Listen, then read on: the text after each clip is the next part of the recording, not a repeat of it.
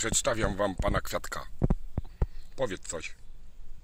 Cześć, jestem Kwiatek. Moja ciocia. Co? A tu jest drugi.